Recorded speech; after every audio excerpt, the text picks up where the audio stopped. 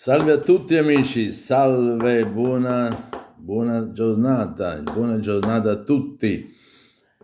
L'altra sera non ho, non ho visto chi l'ha visto, non ho avuto modo di vederlo, ma ho letto dei resoconti, mi hanno illustrato e ho visto poi qualcosa in differita. Su, sempre sul caso Liliano, ovviamente. Volete sapere alcune mie impressioni? Bene, io non, no, guarda, io non voglio essere di parte, perché qualcuno dice eh, tu ce l'hai con quello, ce l'hai con quell'altro. No, no, chi fa, chi fa informazione e anche chi commenta eh, lo deve fare, a mio avviso, scevro da, da ogni disegno mentale. Secondo le cose che emergono, così bisogna riportarle e farsene un'opinione.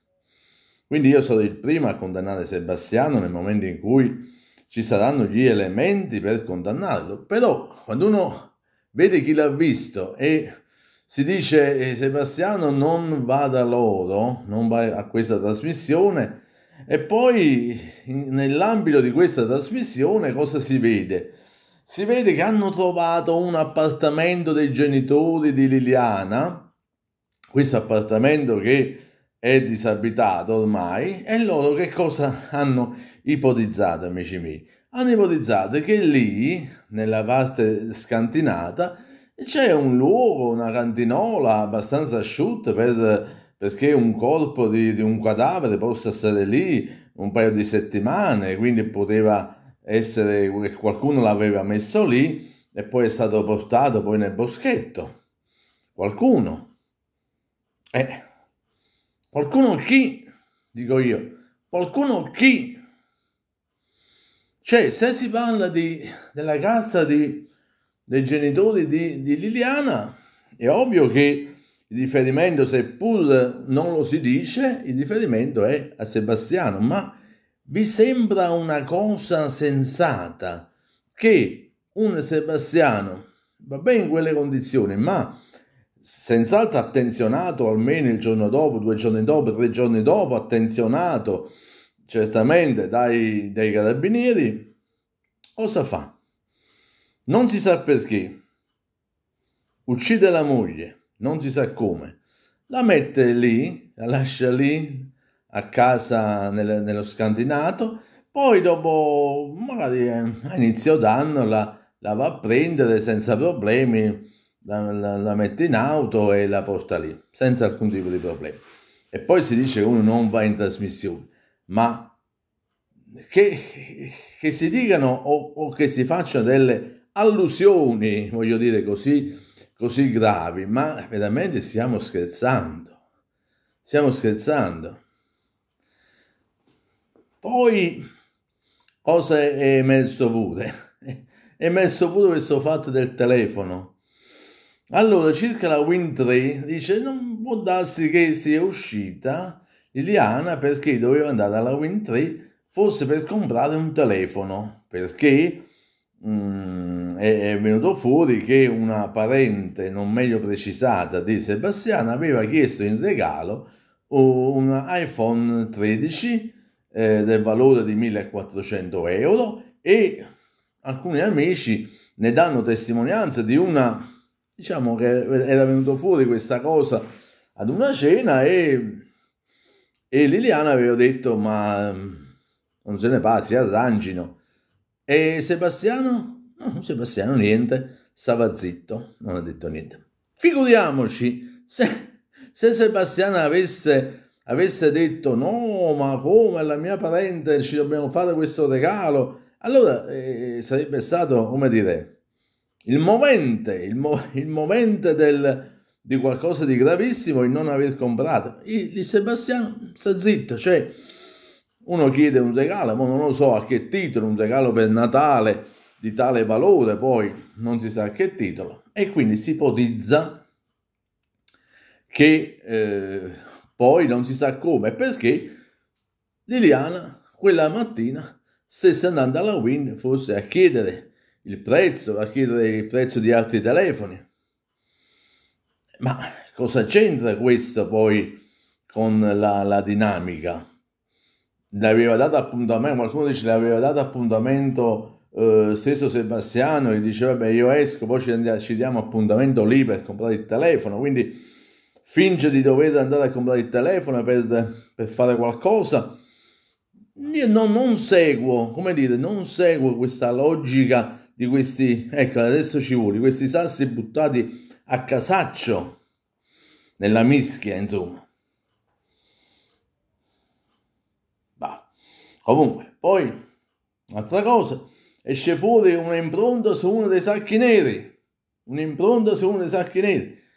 E questa cosa, questa notizia rimarrà così per mesi, come il fatto dell'impronta sullo, sullo, sullo spago o altre analisi che non escono fuori dopo mesi ma nemmeno se si dovesse fare delle analisi, come dire, su reperti di, eh, di, di, di, come dire, reperti di, di Marte, di Giove, di, di Venere, insomma, talmente che è difficile. Non lo so, per carità. Comunque, quello che emerge invece dagli ambienti investigativi è che sembra che gli inquirenti anche siano adesso orientati a, e convinti che il colpo non sia stato lì per tutto quel tempo, perché hanno visto che la conservazione del corpo non è compatibile. Eh, non, il corpo non aveva subito l'assalto di nessun tipo di animale. Le buste che coprivano il corpo erano nuovissime non di, di, di tre settimane ok. Quindi ciò è automatico e significa che non è un suicidio. E non è un suicidio, ma anche lo si vedeva anche da un percorso logico, perché oh, che cosa emerge ancora? Un'altra piccola novità, che quella mattina, quella mattina Liliana, oltre a, a fare la, leva, la lavatrice, ad asciugare i panni, a stendere i panni, a fare la indifferenziata, che poi va a buttare la indifferenziata, a prendere l'integratore, a fare colazione. Poi a verbale, si legge a verbale che eh, fece fare Sebastiano, rifece pure i letti perché al ritorno Sebastiano trovò tutto rassettato quindi rassettata alla perfezione anche i letti, il letto di fatto. Quindi immaginate voi questa persona disperata che deve andare a suicidarsi, non fa tutto come se nulla fosse, rifà perfino i letti. Allora dobbiamo fare le barzellette, amici miei, dobbiamo raccontarci delle stupidità. Vogliamo, vogliamo fare in modo che questo caso eh, vada, nel, vada nel dimenticatoio, venga archiviato così, tanto per, giusto per, perché non, non si riesce a, a, ad andare avanti su una ipotesi di colpevolezza. Poi, quando si accusa Sebastiano, vedete, pure la dottoressa Bruzzone, che io stimo, però quando si dà addosso a Sebastiano perché non hai consegnato i telefoni? Perché non hai consegnato i telefoni? A parte giustamente che quello nella sua confusione mentale, no? nel suo intorbidimento mentale, dice, no ma sono venute tante volte la polizia, stavano lì, non li hanno presi, ma lei perché, lei perché non l'ha consegnato? Bene, cosa emerge? Emerge che quella sera, alle ore 22 del 14 dicembre, quando lui andò, insomma, poi a fare la denuncia di scomparsa, dichiarò a verbale, a casa sono rimasti i due cellulari di mia moglie. Quindi l'ha dichiarato quella sera stessa a verbale, quindi che poi non siano andati immediatamente i carabinieri a prenderli, ma stava dichiarato subito là. Quindi questo è importante. Ora il fatto di questi telefoni che stanno a casa, amici miei, secondo un percorso logico, e questo è importante, stanno a casa o perché uno esce e deve tornare subito, pochi minuti, poco tempo, allora dice vabbè, è capitato pure a me, a volte metto il telefono sotto carica, dico vabbè, vado a fare un servizio 10 minuti attorno, un quarto d'ora, è inutile che mi porti il, il telefono appresso, tanto torno subito a casa, capita. Seconda ipotesi, che invece siano stati riportati a casa. E se facciamo questa seconda ipotesi, a riportarli a casa, ovviamente, o li riporta il marito o qualcuno che aveva le chiavi di casa. Può essere Claudio, può essere il vicino di casa, Salvo, o chi non si sa. Poi, poi può essere, terza ipotesi, che, e questa l'ho fatta ma qualcuno non mi ha seguito su questo ragionamento, terza ipotesi, che abbia lasciato Liliana sia i documenti, importante questi, i suoi documenti, i suoi cellulari a casa per non essere ricattabile. Per non essere ricattabile. Perché se io vado a un appuntamento in cui devo chiarire, un appuntamento con qualcuno che io temo pure qualcosa, allora io vado con nulla addosso perché temo che questa persona mi possa ricattare. Cioè, se io vado da questa persona che non voglio che si sappia che io vado a fare questo chiarimento, ok?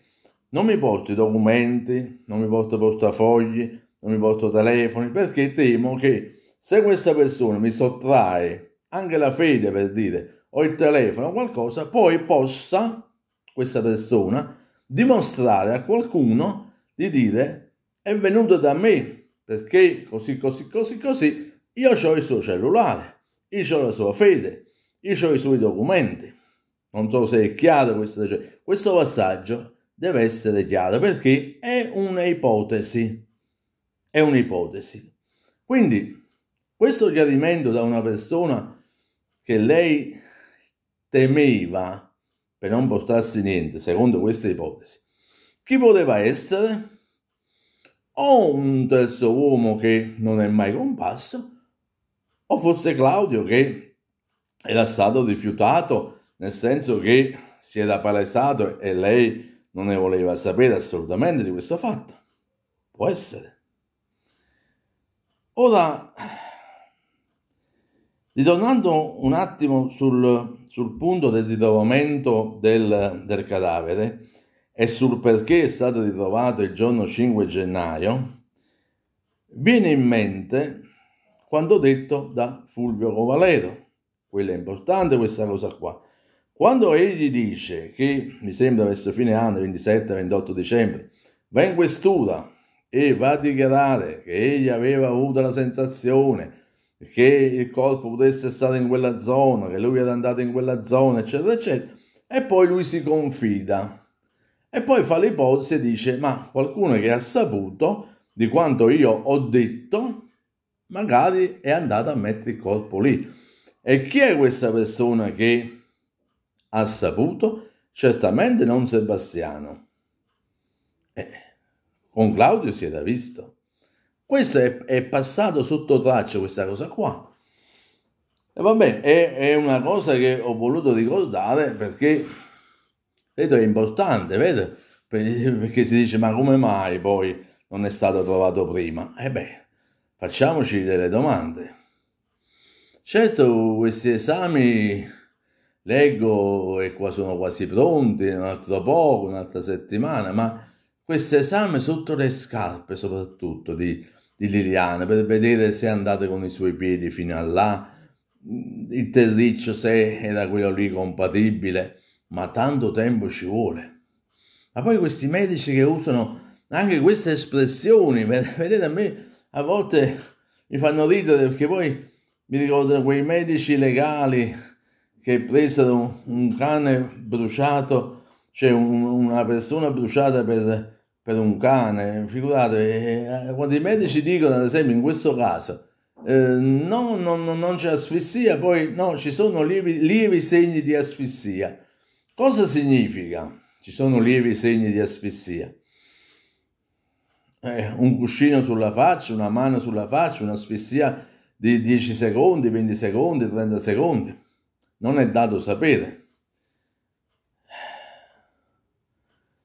e nemmeno ci dicono, secondo loro, da quanti giorni il corpo stava lì. Comunque, amici miei, per concludere questo ragionamento di stasera, io credo che bisogna fare delle ipotesi di esclusione, per, bisogna andare per esclusione. Sopprimere Liliana, secondo me, non giovava a Sebastiano. Non vedo che tipo di giovamento potesse avere.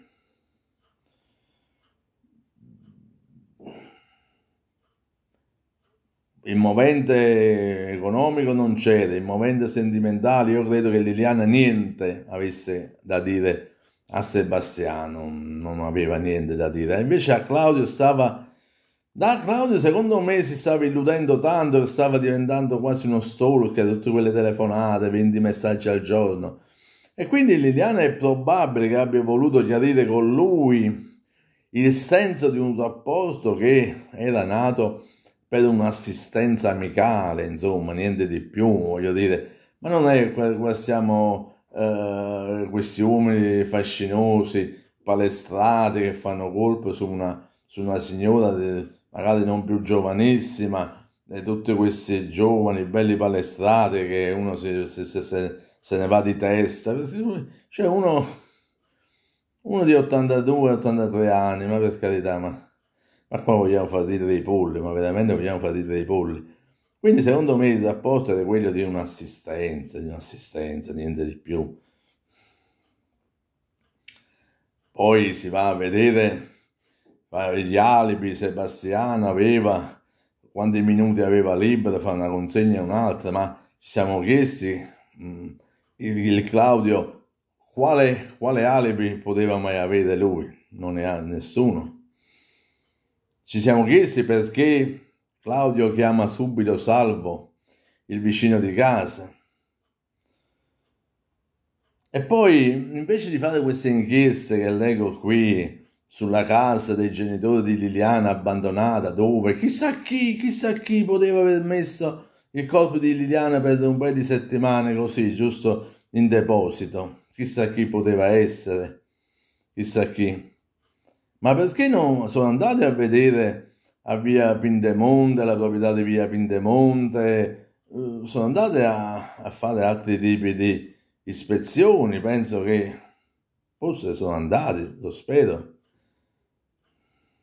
Poi, vedete, sento in giro, vedo su YouTube, vedo in trasmissioni, molti che senza avere nemmeno tante competenze, io per carità, io ho l'esperienza della mia vita, tanti, tanti anni nel sociale, eh, però molti fanno le analisi comportamentali, come si comporta uno, come si atteggia un altro davanti alla telecamera, eh, quello ha chiuso gli occhi, si è messa la mano in faccia, eh, si è grattato il naso, e, ah, quello, quello significa quella cosa lì. Invece i comportamenti devono essere comunque contestualizzati, ripetuti, non è i gesti, che i gesti occasionali fanno un comportamento. Comunque, io in linea di massima vedo che Sebastiana ci, ci mette la faccia, anche se ha sempre quell'atteggiamento un po' confuso, come dico io, da pugile un po' rintronato, suonato, però sta sempre lì,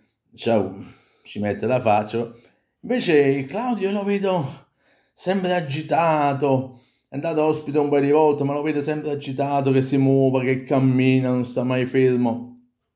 E spesso in, in molte interviste lo vedo sempre dietro la protezione di, di cancelli, di finestre, dietro delle sbarre, sempre dietro, dietro. E allora pure io potrei dire come una difesa inconscia. Non è uno che vede il giornalista, si siede, uh, si siede, parla. No, è sempre quelle cose di fretta che chiude la macchina, porta la portiera della macchina, oppure sta in giardino. È come qualcosa di sfuggente. E queste, beh, lo fanno tante le analisi introspettive e quindi le faccio pure io. eh, ne avrò pure titolo, voglio dire. Va bene amici miei, ho fatto un, un video un video un po' lungo, ma mi piace parlare con voi perché mi ci trovo molto bene, mi ci trovo molto bene e, e spero che vi siano, invece di tutte queste illazioni, esca fuori qualcosa di, di concreto che possa indirizzare le indagini verso una direzione univoca. Grazie, un abbraccio a tutti quanti voi, vi voglio bene, ciao.